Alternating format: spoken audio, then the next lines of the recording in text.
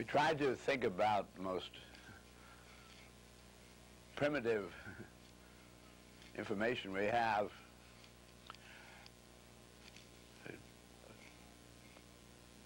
Regarding our, our extraordinary experience is that I think we choose the fact that all humanity has always been born naked, absolutely helpless for months, and though with beautiful equipment, as we learned later on, no experience, therefore absolute ignorance. That's where all humanity has always started. And we've come to the point where in our trial and error, finding our way, stimulated by designed in hunger, designed in thirst. These are conscious inputs, designed in procreative urge. We have, plus an enormous amount of, as we learn later on, designed in automated processing of the interrelationships of our all the atoms in our organism. Start in then with the, a consciousness of the hunger, giving a drive to go after, and to seek, to experiment. Man having then no rule book, nothing to tell him about that universe, has had to really find his way entirely by trial and error. He had no words had no experience to assume the other person has experience. They had at first very incredibly limited way of communicating. We now know human beings being on our planet for probably three and a half million years with, as far as we can see, not much physiological change, pretty much the same skeleton. And I what we can learn of human beings in their earliest recorded communicating in, in an important degree. People in India 5,000 years ago, China 5,000 years ago, were thinking very extraordinarily well in the terms of anything we know about our experience, the way we've been able to resolve the experiences into the discovery of principles that seem to be operative in our universe. I'm, I'm astonished at how well the early Hindu Chinese thinker, how well he was able to process his information in view of the very much, very limited amount of information humanity had as of that time in, in comparison to anything we have today. Just making a little jump on information as we as humanity on board of our planet entered into what it called World War One, these scientists around the world have ways of reporting to one another officially, and chemists have what they call chemical abstracts. The chemical abstracts are methodical publication of anything and everything any chemist finds that he publishes information regarding it, which comes in chemical abstracts. as a world entering World War One in the 20th, what's recorded in the 20th century, is very arbitrary kind of a counting matter. We had some hundred, I think it was hundred. Uh, I'm doing this off the top of my head, my, my memory, about 175,000 known substances, possibly almost a quarter of a million substances by the time the United States came in the war known to chemistry. But we came out of World War I with almost a million substances known. By the time we entered World War II, we were well up into 10 million. And we've come out of it now where we, the, the figure is really getting me astronomical. We can't really keep track of the rate which we're discovering more. Just talk about differentiable substances, that chemically distinct from one another. Those, those are typical of the information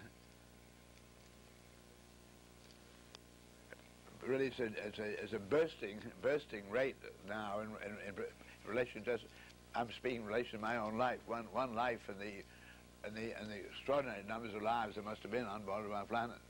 That the information is in, in multiplying that rate during just one lifetime indicates that something is going on here right now that is utterly unprecedented, and we're in such indication of acceleration of experience as human beings, the integration of the accelerated, the experienced, to produce awarenesses that are indicative of humanity going through some very, very important kind of transition into some kind of new relationship to universe, I'd say. The, the kind of acceleration that would occur after the child has been formed in the womb, taking the nine months, and, and then suddenly begins to issue from the, from the womb out into an entirely new world.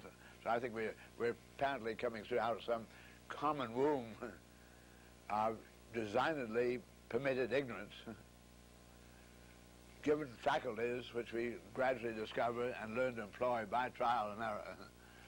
And we're at a point where I've, I now have what would also seem absolutely incredible to generations before. I've now completed 37 circuits of our Earth, kind of zigzagging circuits, not, not straight around, not tourists, just responding to requests to, to appear here and there, to lecture at universities or to design some structure, whatever it may be. So that, that, that is in the everyday pattern that, that I'm circuiting that Earth. Certainly makes it in evidence that we are dealing in a, a totality of humanity, not the, or up to, up to my generation, completely divided humanity, spread very far apart on our planet where my father was in the leather importing business in Boston, Massachusetts, United States. And he imported from two places primarily, the Buenos Aires and India for bringing in leathers for the shoe industry, of, uh, which was centered at that time in, in the Boston area. And his mail or a trip that he would like to make to Argentina took two months each way. And his trips to India and the mail took exactly three months each way. And it was very, seemed absolutely logical to humanity when early in this century, Rudyard Kipling, the English poet, said, East is east and west is west, and never the twain shall meet. the, the very, very rare matter for any human being to make such a travel as that, taking all those months. There were not many ships that could take him. All that has just changed in my lifetime to where it's a, I'm not just one of the very few making these circuits of theirs, but I'm, I'm one of, of probably getting to be pretty close to 20 million now who are making, living a life like that around our planet and very much the whole young world doing so. I, I keep meeting my students Uh, various universities from around the world, halfway around the world again. They're, they're, they're all getting to be living as world people. So this is a very sudden emergence into some new kind of relationship to our universe that's being manifest.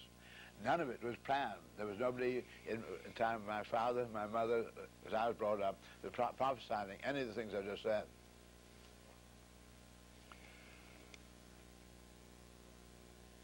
when I was, year I was born, Marconi invented the wireless, but it did not get into any practical use until I was 12 years of age when the first steamship sends an SOS that's in distress by wireless, just think of it. Great many miles, and the world began to know the ship was in distress, and ships began to rush to its aid. Absolutely unexpected. My, my father and mother would say, wireless, such nonsense. And when I was three, the electrons discovered, and nobody talked about that. There wasn't any the newspapers, or nobody's interested in electrons, didn't know where this electron was been discovered. The, I was brought up that the humanity would never get to the North Pole, absolutely impossible, and never get to the South Pole. And our Mercator maps didn't even show anything up the, the northernmost points were very rugged, kind of a line, but you didn't see it, know anything up beyond that. When I was 14, man did get to the North Pole. When I was 16, he got to the South Pole. So the impossibles were happening. Like all other little, boys, I was, making paper darts, which you could make at school, but boys must have been making them for a very long time. And we were hoping we might be able to get to flying. but the parents, your parents said, very, very, very amusing for you to try that, but it's inherently impossible for a man to fly.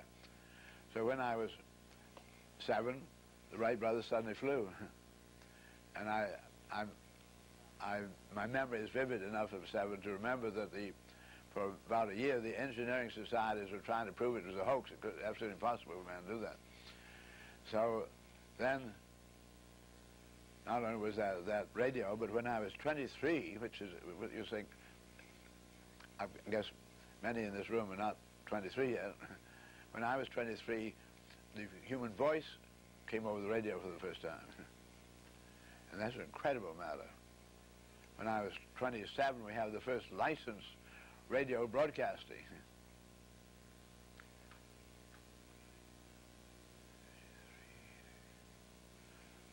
When I was 38, I was asked to go on a, an experimental TV studio program in New York where the Columbia Broadcasting had 70 sets, which in the in uh, various scientists and their board of directors' homes, and, and they had experimental programs going out, and so I, they didn't have any money for paying anybody. The man who ran it was Gilbert Seldes, a friend of mine, ran the studio, and so I often appeared on his program, but we don't have television operating in the United States until after World War II. So we we're talking about, I was, I was 40, 45 when we had our first television. So this very, couldn't be more recent matter.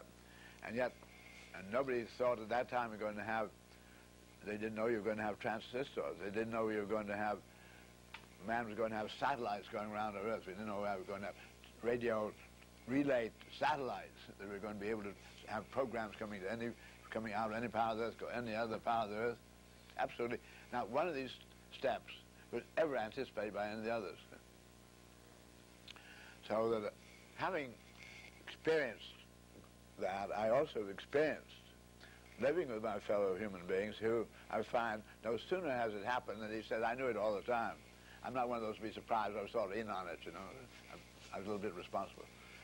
Uh, there, is a, there is a strange vanity of man, and I think the vanity that he has was essential to his being born naked and helpless and having to make the fantastic number of mistakes he had to make in order to really learn something.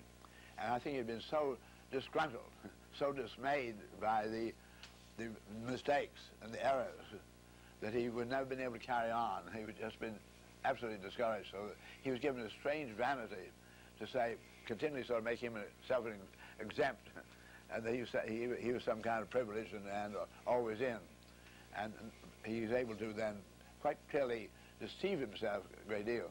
So I find everybody today, so going, getting the moon, anybody do that, that's absolutely simple and logical. Now, there, it is obvious and simple and logical, provided you were born, and this has happened in your lifetime, you can see how it happened. I began to realize with that rapid changing going on, which was, I was antis uh, not anticipated, that what people call natural when I was young, the natural related to a state before these great changes occurred, where we was, were supposed to stay, we were inherently remote from other human beings. No way you can get the other human beings. And all the customs been developed over millions and millions of years of of tribes and, and com little communities being isolated one from the other. The, how you got on with one another, seeing everybody, you saw everybody a great deal all the time. The conditions that were really brought, brought about by that constant proximity brought about human behaviors, which we have now rules, and everybody says that, the older people say that's where you carry on, that are really no longer germane to the conditions that are prevailing. And I began to realize that this, that, for to me, having been born before flying for the Wright brothers,